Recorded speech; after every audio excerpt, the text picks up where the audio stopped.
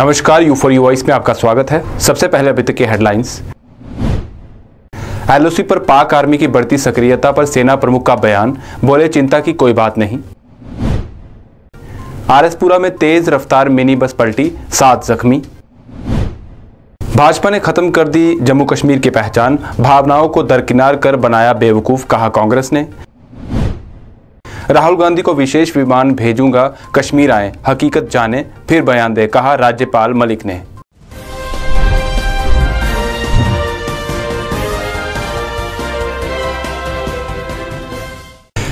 और अब समाचार विस्तार से। नियंत्रण रेखा पर पाकिस्तानी सेना की बढ़ती सक्रियता को लेकर सेना प्रमुख जनरल बिपिन रावत ने मंगलवार को बयान दिया। उन्होंने कहा कि अगर वो नियंत्रण रेखा पर सुरक्षा बलों की सक्रियता बढ़ाना चाहते हैं तो ये उनका फैसला है। उन्होंने कहा कि सभी देश एहतियात के तौर पर तैनाती करते हैं। उन्होंने कहा कि हमें इसके बारे में बहुत चिंतित नहीं होना चाहिए। जहाँ तक सेना और अन्य सेवाओं का सवाल है, हमें हमेशा तैयार रहना होगा। अनुच्छेद 370 हटाए जाने के बाद से पैदा हुए हालातों पर सेना प्रमुख बिपिन रावत ने कहा कि कश्मीर के लोगों के साथ हमारी बातचीत पहले की तरह सामान्य है। हम पहले भी उनसे बिना बंदूक के मिलते थे। साथ ही कहा कि अगर सब ठीक रहता है तो हमारी मुलाकात पहले की तरह ही होगी। आरसपुरा क्षेत्र के जसोर गाँव के पास यात्री बस के पलट जाने से उसमें सवार सात लोग गंभीर रूप से जख्मी हो गए। बताया जा रहा है कि यात्री बस जम्मू से गाँव जसोर की ओर जा रही थी। कुलिया के पास चालक ने मिनी बस को कंडक्टर के हवाले कर दी और बस से उतर गया। कंडक्टर मिनी बस को बहुत तेज दौड़ा रहा था। इस बीच मिनी बस का संतुलन बिगड़ गया और वो सड़क पर पलट गई। इसमें बस में सवार यात्रियों में चीख पुकार मच गई। यात्रियों की चीख पुकार सुनकर आसपास के लोगों ने हादसे के बारे में पुलिस को सूचना दी।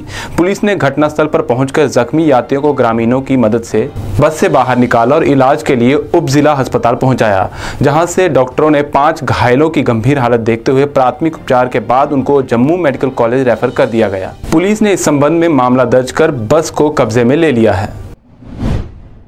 अनुच्छेद 370 को हटाए जाने के बाद उत्पन्न हुए हालात के लिए प्रदेश कांग्रेस ने भाजपा की नीतियों को जिम्मेदार ठहराया है। प्रदेशाध्यक्ष जी मीर ने कहा कि भाजपा ने देश से जम्मू कश्मीर की पहचान को खत्म कर दिया है। असंवैधानिक तरीके और सत्ता का दुरुपयोग करके अनुच्छेद 370 को हटाया गया है। जम्मू कश्मीर और लद्दाख को केंद्र शासित राज्यों में बांटकर इसका विभाजन कर दिया गया है।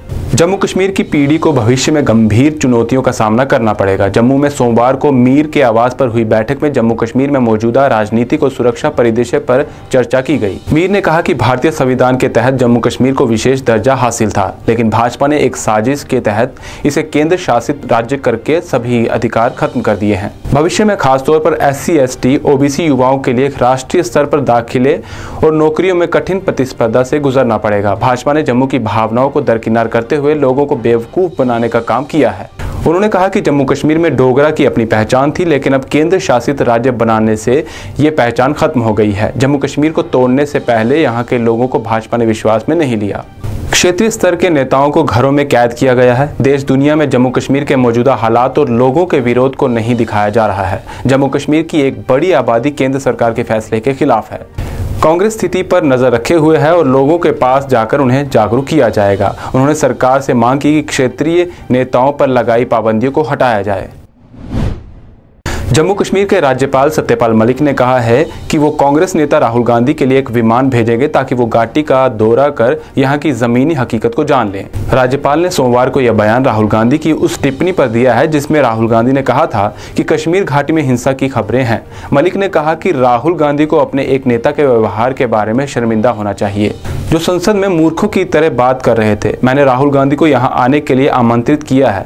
मैं उन्हें एक विमान भेजूँगा। आप स्थिति का जायजा ले और फिर बोले। आप एक जिम्मेदार व्यक्ति हैं और आपको इस तरह से नहीं बोलना चाहिए। वो कश्मीर में हिंसा के बारे में कुछ नेताओं और मीडिया के बयानों पर रिपोर्टरों के एक सवाल का जवाब दे रहे थे। मालूम हो कि शनिवार की रात को राहुल गांधी ने कहा कि जम्मू कश्मीर से वहाँ की हिंसा के बारे में कुछ रिपोर्ट आई थी और प्रधानमंत्री नरेंद्र मोदी को इस मामले पर पारदर्शी तरीके से चिंता व्यक्त करनी चाहिए। इसी के साथ अभी तक के बुलेटिन में इतना ही। दीजिए इजाज़त और देखते रहिए यू वॉइस नमस्कार।